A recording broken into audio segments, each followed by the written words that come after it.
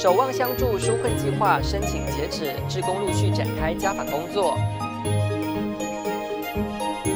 五来岸小镇有一群很发心的环保职工，是什么原因让他们做得如此投入呢？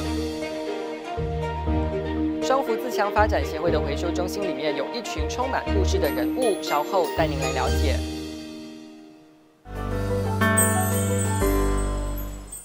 详细内容请看今晚八点 YouTube My 大爱频道直播。